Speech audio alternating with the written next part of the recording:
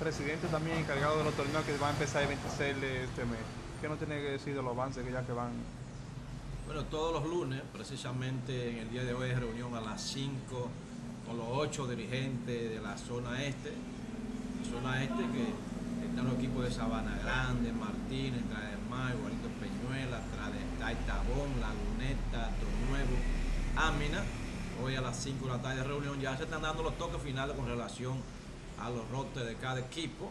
En ese torneo cada equipo tiene un total de tres refuerzos, ya se ha ido discutiendo con relación a eso. En el listado siempre del picheo habían cinco pitches, se ha llevado a ocho, o sea, ocho son los que pueden lanzar por cada equipo, o sea que está marchando todo bien para arrancar como está previsto el 26, si Dios lo permite.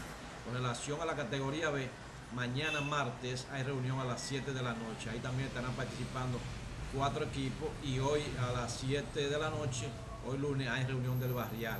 El barrial ya se han ido distribuyendo los pitchers, un pitcher de, de buena categoría para cada equipo. En la reunión de hoy se estará hablando también de un segundo pitcher para cada equipo. O sea que el torneo barrial en esta oportunidad va a tener mejor picheo debido a que hay mucho bateo. Con buen picheo significa que el torneo será más competitivo. También, repito, estarán participando ocho equipos. Se ha estado hablando también ya de rote final para la reunión del día de hoy. O sea que está todo marchando bien en la organización del evento para arrancar el próximo viernes 26 a las 6 de la tarde en el estadio Octavio Santos del Complejo Deportivo Julio Muñoz. ¿Hay equipos que han presentado problemas con relación a su rote?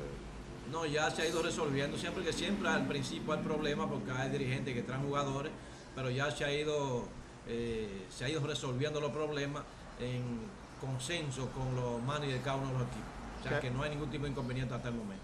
¿Algún mensaje ya para aquellas fanaticadas que van a.? Bueno, la fanaticada que vaya preparando porque a partir del 26, Playboy estará jugando diario en el Sobo de la Ciudad Deportiva Octavio Santos.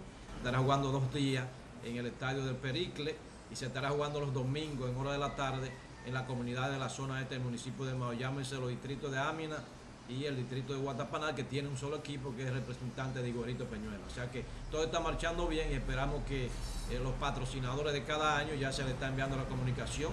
Estaremos preparando el brochure como, como siempre, con los, con los patrocinadores, con la publicidad empresa y estamos vendiendo la publicidad para cubrir parte de los gastos del evento.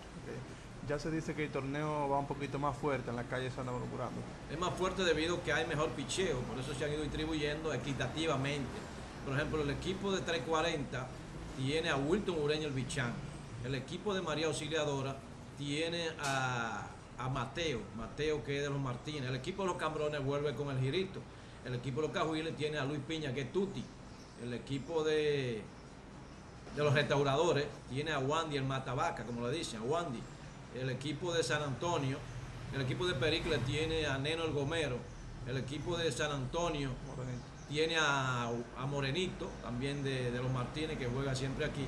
O sea que cada equipo, los ocho equipos de barrio, tiene un, pitch, de buena categoría. Y en la reunión de hoy se estará distribuyendo el segundo pitch. O sea que se ha ido resolviendo la situación. Hay algunos, hay varios que al igual que el año pasado no van a participar, esos jugadores no jugaron. Hay algunos de esos jugadores que se han distribuido en otros equipos, de los que quizá tengan más, menos, menos fuerza, menos, ser menos competitivos, que son todos competitivos en esta oportunidad, pero siempre hay algunos que les faltan jugadores y se les distribuyen de jugadores que no pertenecen a nadie. muchísimas gracias.